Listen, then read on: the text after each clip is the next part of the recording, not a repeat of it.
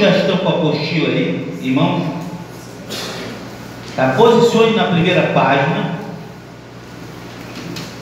Nós vamos utilizar bastante essa apostila hoje, tá?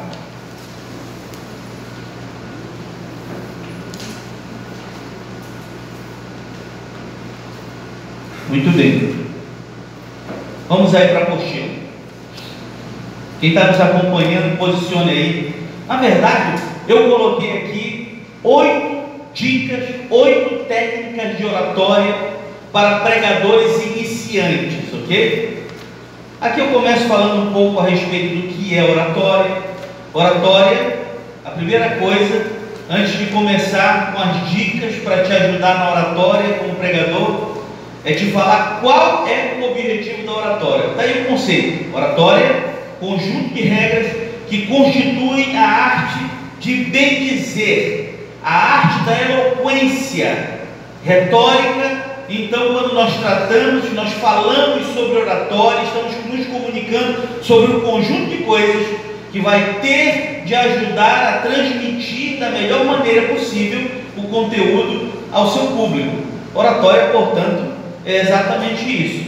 Aqui mostramos aí, ó, é a arte de falar em público. E existem técnicas, claro, nós vamos mostrar aqui na prática algumas dessas técnicas. A primeira delas, a primeira dessas dicas aí, qual é que diz aí? Você vai facilitar sua oratória se estiver bem preparado. Grife isso.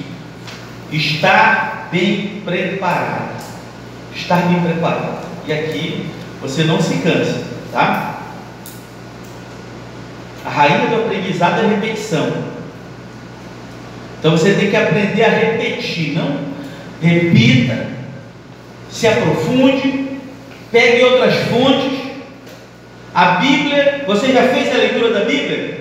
Vá agora ler outros assuntos, livros que tratem mais aprofundado a respeito daquela matéria. Até mesmo a Bíblia que você usa fala muito a respeito. Você sabia disso? Preste atenção. A Bíblia na linguagem de hoje, eu não recomendo para quem é pregador. Na é verdade, você vai ler um, um trecho fica muito informal. Você vê Jesus falando com os discípulos, chamando de você. Na é verdade? Enquanto que você vai ler na versão original, Almeida corrigida, né, que essa é uma das mais que eu, que eu costumo recomendar, Almeida é, revista e corrigida, você vai encontrar diversas, diversas Bíblias, eu vou mostrar, que eu trouxe algumas aqui para mostrar para vocês, tá?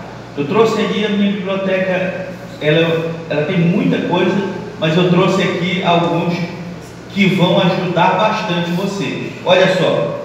Primeiro,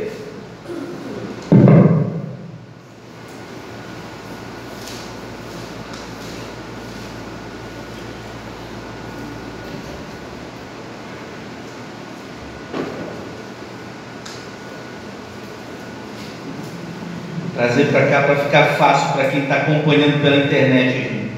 Olha, essa é uma Bíblia muito comum, Bíblia do pregador ela tem 1.200 esboços. Você vai abrindo, e são centenas de esboços, bem organizadinho, muito interessante, tá? Bíblia do Pregador. Você vai precisar também de um dicionário da Bíblia, porque tem muitos termos que você vai precisar consultar. Você vai precisar chegar, você vai se defrontar com termos que você não conhece. Então você vai lá e se aprofunda, vai conhecer, por exemplo, o que significa a palavra Lodebar, nome de um lugar de Gileade, e talvez a mesma cidade de Debir, mencionada em Josué 13, 26. Tá vendo? Você vai precisar também de um dicionário da Bíblia. Que mais você vai, vai precisar? Você vai precisar também de uma suplementação muito interessante. Olha, esse aqui é um dos livros que, depois da Bíblia, o teólogo precisa ter na sua biblioteca. História dos Hebreus. Esse aqui, doutor Danilo aqui já deu até balançada na cabeça, né? sabe da importância desse Esse livro aqui, ele conta muitos relatos e foi escrito por um historiador chamado Flávio José, historiador judeu, e que ele foi contemporâneo de Jesus. Muitas coisas que estão aqui, detalhes, não estão na Bíblia. Ele conta sobre uma visão histórica, inclusive o relato da crucificação de Jesus aqui, e diversos outros pontos interessantes. Por exemplo, você não encontra quase nada na Bíblia a respeito daquele período intertestamentário, aquele período dos 400 anos entre o Antigo e o Novo Testamento. Mas aqui ele fala do que aconteceu nesse período. Ele conta a respeito é, daquela resistência que houve, ele fala a respeito de uma fortaleza que foi construída, enfim, há diversas histórias e eu recomendo, portanto, o livro História dos Hebreus de Flávio José, ok? Veja só, nós temos também essa aqui que é a Bíblia de, de aplicação pessoal. A Bíblia de aplicação pessoal, olha só, ela é quase toda a explicação. Só a parte de cima é a Bíblia, o resto, tudo é explicação. Tem muito detalhe. É uma Bíblia de estudo bem aprofundada.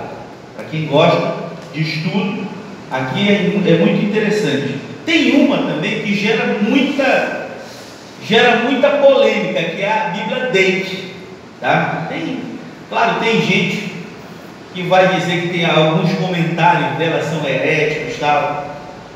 Eu fiz uma análise interessante, analisei bastante.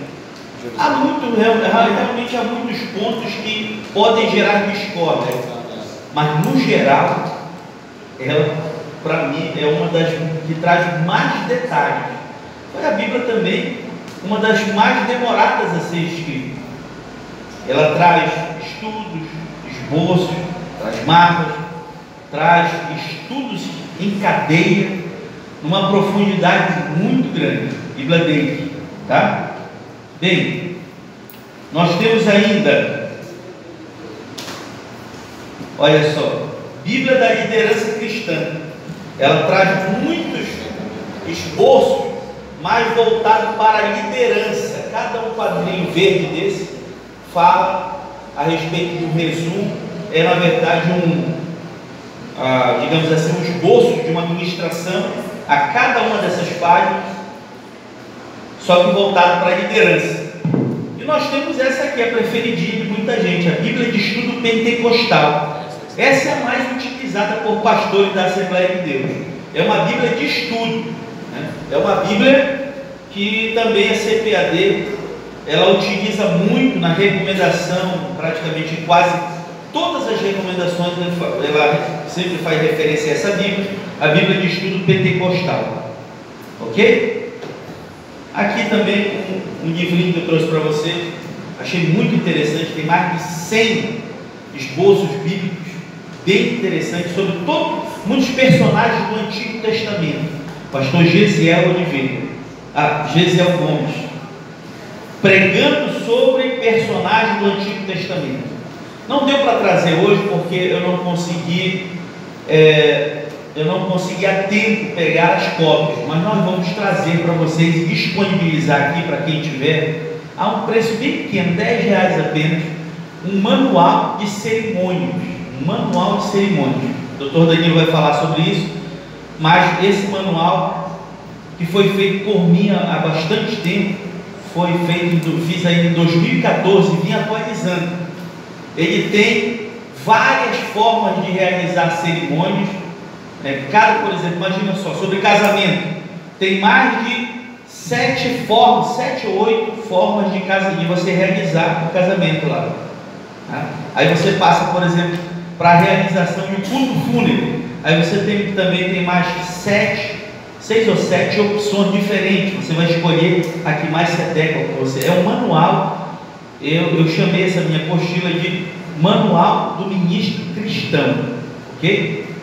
E eu vou trazer, tem vários outros. Eu tenho mais ou menos umas 40 apostilas. Tá? Eu vou trazer para vocês escolherem. Aqui você tem estudo lá para casal, tem estudo para jovens, tem estudo para escola bíblica dominical, tem estudo para liderança. Lá tem estudo para quem gosta, por exemplo, de frases. Lá tem frasário lá, com mais de mil e poucas frases. Né? Quem gosta de rede social, colocar uma frase bonita lá no status, né? Nós temos também um outro que são 70 dinâmicas para quem usa, quem gosta de fazer aquelas dinâmicas com jovens, com o ciclo de oração, né? Nós temos lá uma, uma apostila de mais de 70, 75, se não me engano, é, dinâmicas diferentes e diversos outros temas, né? É, inclusive um só esboço, quase 100 esboços de pregação, enfim. Mas tem muita coisa que a gente vai mostrar adiante para vocês. O que eu quero agora focar nessa primeira dica que nós estamos. Nós estamos na primeira dica. Isso vai facilitar a sua oratória se você estiver bem preparado. E eu estava mostrando todas essas Bíblias aqui para vocês e esses livros, exatamente para dizer o seguinte: estejam preparados. Estejam preparados. Isso é muito importante, tá? Você não vai nunca para frente de um público se você não tirou tempo suficiente para se aprofundar naquela matéria. Aqui, olha, nessa primeira dica aí, uma coisa é certa: quanto mais a pessoa se prepara para transmitir o ensinamento bíblico, mais confiante ela chega no momento da pregação. Nós precisamos dizer aqui: você que não se preparou tem mais chances de errar. Quem não estiver suficientemente preparado corre mais riscos de tropeçar ao longo. E é isso, na verdade, que acaba estimulando mesmo a falta de preparo. Ok? Segunda dica: comece cumprimentando o seu público. Ok? Já está preparado? Já fez o seu dever de casa? Agora, na prática, comece sempre saudando. Isso é muito importante. Você chega para falar numa festa, não vai falar direto. Lembre-se de agradecer. Agradeça a Deus. Agradeça ao pastor daquela igreja que te deu a oportunidade de estar ali ministrando para aquele público. Agradeça ao círculo de oração, se for ele estiver em festa, ou aos jovens, obrigado. Ou seja lá a quem for que estiver aniversariando, faça isso, é muito importante. Até porque esse é o momento, digamos assim, do quebra-gelo também, e é muito importante, tá? A igreja está na expectativa. E se você já entra direto, não faz aquela parte, digamos assim, introdutória, isso faz parte da introdução. Isso faz parte da introdução. Assim como nós vemos, por exemplo, em um livro que tem introdução, desenvolvimento e conclusão, assim como você utiliza em uma tese, introdução, é, introdução, desenvolvimento e conclusão, a pregação também tem que ter isso. A pregação ela tem que ter introdução, desenvolvimento e conclusão. Não é? Eu estou falando de uma, de uma coisa lógica. Você começa introduzindo sobre o que você vai falar. Depois você começa a desenvolver os tópicos ponto a ponto do que você vai tratando. E no final conclui, mostrando qual é o direcionamento, o que é que se conclui, o que é que se aproveita, qual é a lição que a gente. Ok? É muito importante que na, nesse, nesse primeiro momento aqui você comece cumprimentando o seu público, que faz parte dessa primeira etapa que é a introdução, ok? Quando for começar uma pregação, nunca se esqueça, portanto, de saudar não só a igreja, mas todos os que lhe permitiram ali estar, ok? E aqui eu vou te passar algumas informações que podem te ajudar nessa segunda dica. Primeiro, cumprimentar a igreja. Segundo, agradecer o convite que teve para estar pregando o Evangelho. Vira a página aí. Terceiro, expresse a felicidade de estar ali, sempre com um semblante feliz. É importante mencionar que você não deve gastar tempo demais nos cumprimentos, porque também tem gente que perde logo, você gasta logo 15, 20 minutos ali só, aí fica, fica chato. Né? Você tem que saber dosar, isso é muito importante. Isso que nós estamos falando da cumprimentação, isso é rápido, é uma coisa que você faz em um minuto, dois minutos no máximo. Ok? E depois siga.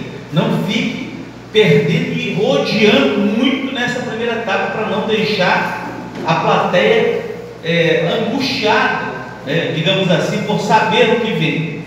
Cria-se uma expectativa desnecessária.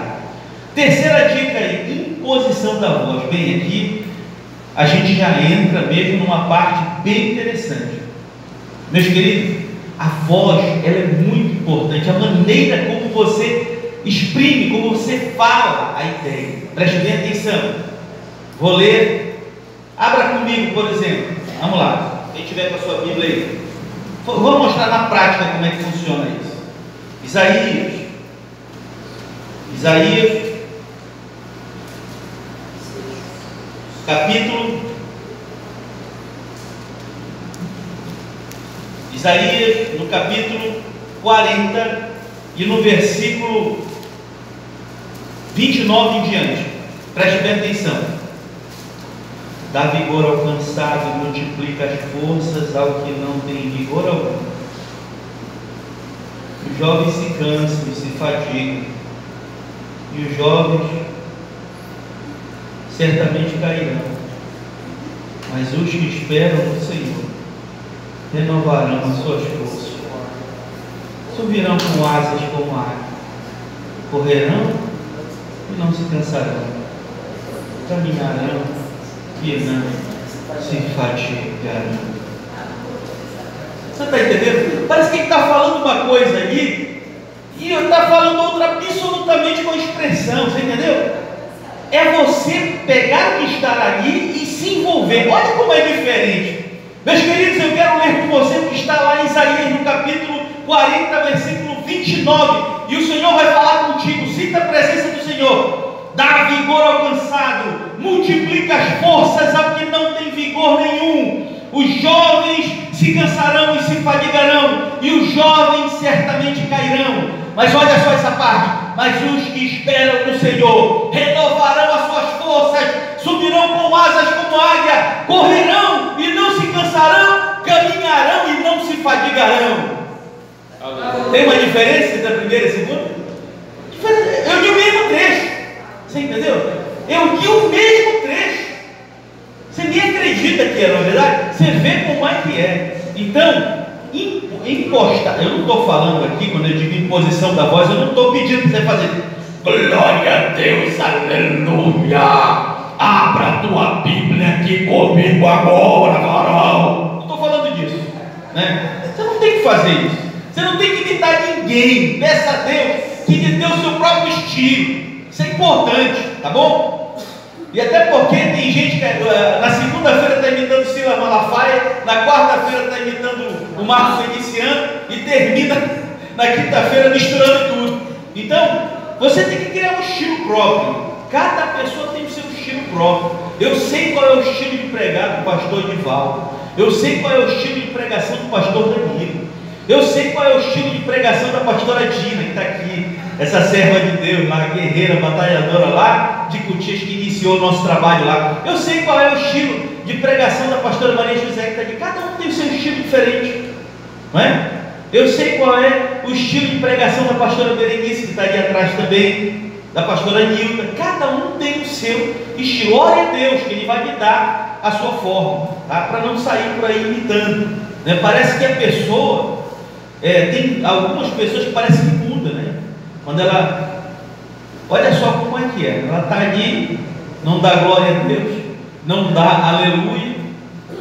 Até se você chegar pertinho, puder encostar o teu ouvido um pouco mais próximo, você vai ver que dá até para escutar ela roncando no culto, tá? Mas aí vamos anunciar o irmão José Sapatinho de Fogo. Aí ele dá o. E lá vem ele. Sente a presença de Deus aí, porque. Você entendeu como é que é? Ele se transforma em outra pessoa. Está imitando. Aquilo não é ele. Ele colocou uma capa ali. Seja natural. Isso é muito importante. Você falar naturalmente, sem estar imitando ninguém. Imposição da voz aqui é usar a voz de uma maneira adequada. E infelizmente muitos pregadores erram neste ponto aqui. Tá? Por quê? Porque, escute bem, meu querido, você vai desenvolvendo a pregação, isso é muito importante que eu vou falar agora, isso, por isso que é importante um curso como esse, porque todos esses pregadores aqui vão te mostrar um pouquinho do que a gente vivencia no nosso dia a dia. A pregação normalmente ela come, é bom que você comece leve, você comece um pouco mais lento, Tá? E no desenvolvimento a coisa vai aumentando mais, ok? Deixa a parte mais forte para o final.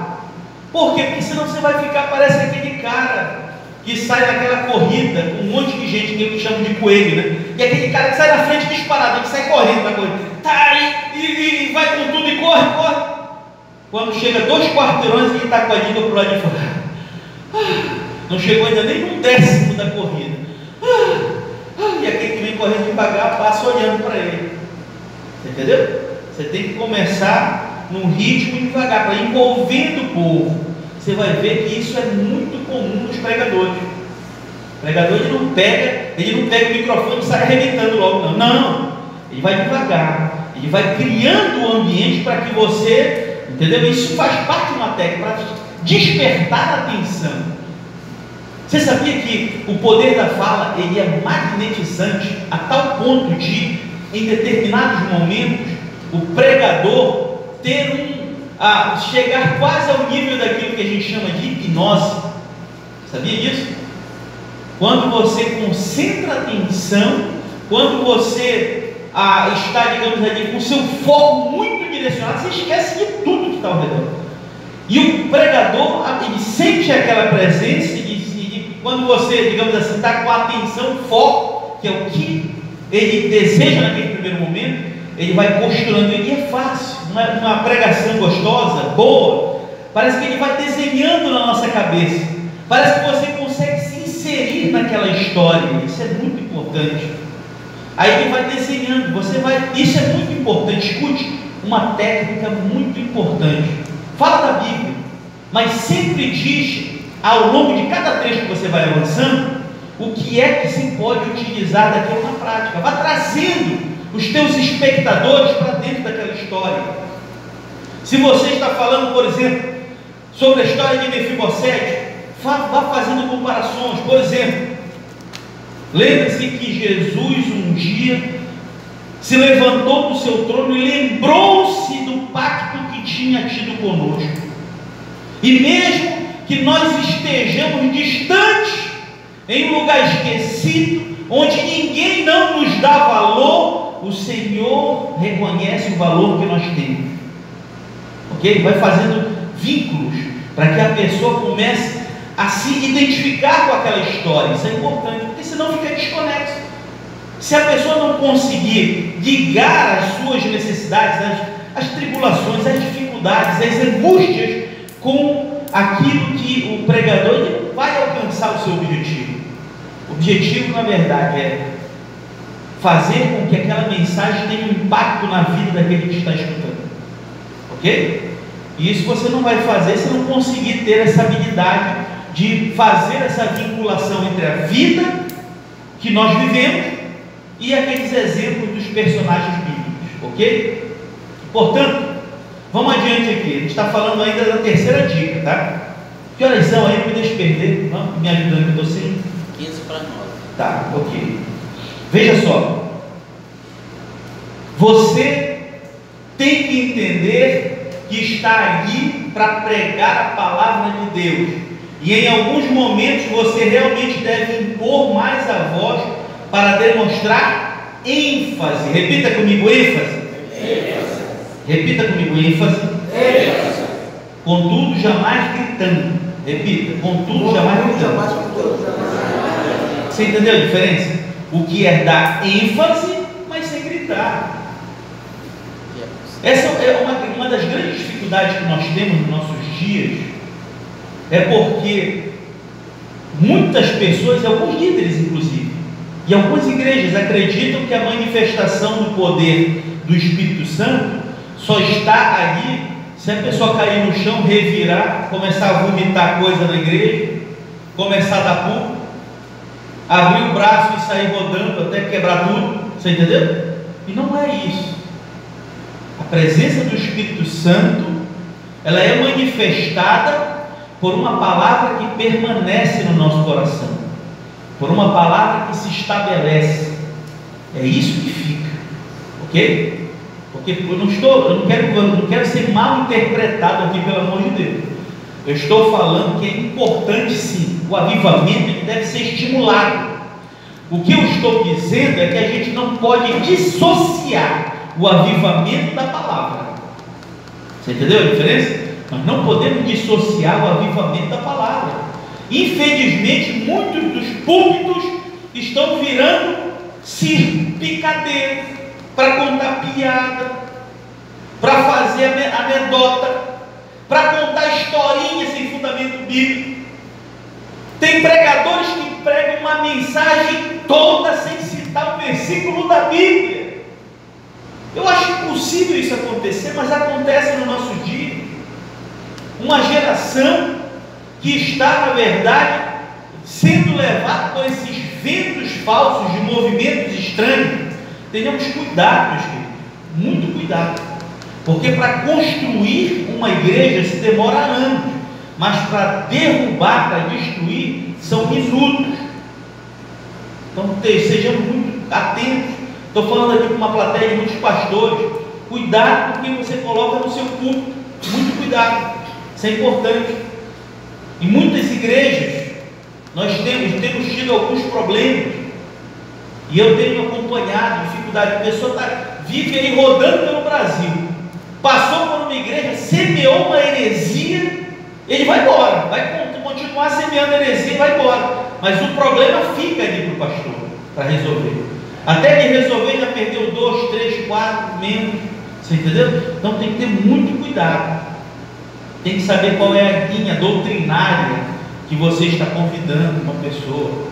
Imagina só, você é da, da Assembleia de Deus e vai convidar, por exemplo, um adventista para me pregar. Tem uma doutrina absolutamente diferente da nossa. A respeito, mas aqui dentro nós temos uma orientação doutrinária. Você entendeu? Então é disso que nós estamos falando. Bastante cuidado. Cuidado. E nós estamos falando aqui em diversos aspectos. Estamos falando ainda sobre a imposição da voz. Por quê? Porque dar ênfase não é a mesma coisa que gritar. Dar ênfase é fazer com que aquilo que você quer alcançar crie relevo dentro do que, do que você está dizendo. Ok? É fazer com que aquilo fixe de uma maneira perene, permanente, no teu subconsciente. E tem diversas maneiras de fazer isso. Você sabia que existem técnicas chamadas de técnicas mnemônicas que facilitam a assimilação de uma maneira permanente, perene e constante. Você não esquece mais quando você aprende. Existem técnicas, existem áreas do nosso cérebro que o ser humano utiliza pouco e deveria utilizar mais para fixar com mais frequência alguns ensinamentos. Quando você faz associações, o nosso cérebro, quando ele faz associações, você nunca mais esquece. Você quer lembrar do nome de uma pessoa que ah, apresentou, por exemplo, agora? Eu conheci uma outra pessoa que eu nunca tinha visto. É? Como é que é o teu nome? Danilo. Eu não vou me lembrar, se me perguntar, não vou me lembrar amanhã. Mas se eu relacionar essa pessoa que eu acabei de conhecer agora com o pastor Danilo que já conheço, eu nunca mais vou te esquecer, entendeu? Então, você começa a fazer essas associações. E eu creio que a gente, muitos já fazem isso até inconscientemente. E quando você começa a fazer associações, as memórias elas se ativam com uma firmeza muito grande. Você entendeu? Interessante é que quanto mais engraçada é essa associação, mais ela fixa na cabeça. Interessante isso. Não precisa ter uma lógica, basta você fazer uma associação. Né? Você quer ver um macete? Vou te ensinar um macete mnemônico. Você vai fazer um. um estou falando isso aqui por quê? Porque você vai ter determinados momentos que você vai ministrar e não quer levar o papel, você quer levar uma linha na tua cabeça, uma linha do que você vai falar. Então é bom que você exercite isso, tá? Mesmo porque eu não recomendo que você vá pregar com papel na frente, porque isso tira muita atenção, tá? Você, a pregação ela fica muito mais fluida quando você cria uma linha, ao invés de ficar se prendendo a trecho, a encontrar onde você escreveu aquilo, aquilo vai tirar teu tempo, vai tirar tua atenção, tá? Você tem que entender que aquilo ali é apenas um suporte. Você tem que entender que aquilo ali é apenas um esboço, com tópicos somente, com pontos você lê, para que aqueles gatilhos que estão ali disparem o que você já tem na mente, ok? Isso é muito importante. Então, abaixa o papel aí um pouquinho, olha para mim, tá? Descansa o braço, dá uma esticada, fica de pé comigo um pouco aí, está sentado mais de uma hora. Vamos dar uma esticada, tá? Olha aqui. Coloca a tua mão assim, dá uma esticada aí, dá uma estralada, tá bom? Digamos aí agora que você vai lá no campo e você quer fazer uma compra e você não consegue lembrar de muita coisa. Vamos fazer, só mostrar para vocês como é que funciona na prática essa questão desses macetes mnemônicos de memorização, você não esquecer. Você vai ver que o que eu vou falar aqui e o que nós vamos, a cesta que nós vamos montar aqui, você não vai esquecer se eu te perguntar daqui um ano, tá bom? O que é que você precisa para colocar dentro da tua Vamos fazer uma cesta de, de frutas. Vai citando aí, cita uma fruta aí. Uma fruta. Manga. Hã? Manga, tá? Manga. Eu vou, eu vou me lembrar, eu vou me lembrar que parte do nosso corpo que lembra uma manga. Bem, né? Ficou fácil, já ficou fácil. Relaciona com uma manga aí, tá bom? Vou dizer que meus peitos aqui são duas mangas, tá bom? Que mais que a gente vai colocar dentro? Bora? Vamos lá, o quê? Um abacate. Um abacate, né? Eu sei que a minha cabeça seja um abacate. Tem umas cabeças que são feias, né? Mais grande para baixo. A minha, por causa da papada aqui, está ficando quase igual um abacate, né? Você entendeu? O que mais que a gente coloca aí dentro? Vai? Maçã. O quê? Maçã. Maçã. Maçã. Vamos dizer que a maçã, vamos dizer que a maçã seja, eu lembro aqui, por exemplo, do, dessa parte do meu calcanhar, redondinho, parece uma maçã, tá bom? Tá, eu coloquei a maçã, já coloquei aqui dentro da, da cesta. O que mais? Vai lá. Mantel, uva. Tá, eu vou, eu vou dizer que meus dois olhos, a bolinha dos meus dois olhos, lembram uma uva, tá? Para mim não esquecer. que mais? Melancia. A melancia tem que ser minha barriga. Tamanhão, tá tem que ser a melancia daquela de 20 reais, né? Aquela bem grandona. que mais? Vamos lá. Banana. Ah. Ai, Jesus. Tá bom, eu vou, colocar dentro, vai. que mais? Hã? Vai? Quanto mais? É. Vamos. Morango, morango. Tá, muito bem. Vou, vou dizer que a minha mão fechada aqui seria muitos moranguinhos aqui dentro, tá bom? Muitos moranguinhos. que mais? A tangerina. Tangerina, né? digamos aqui que a rótula lembra uma, uma tangerina. Vocês já viram tantas coisas que nós colocamos aqui? Colocando mais de 10 itens, né? Você sabia que a gente não vai esquecer disso nunca mais?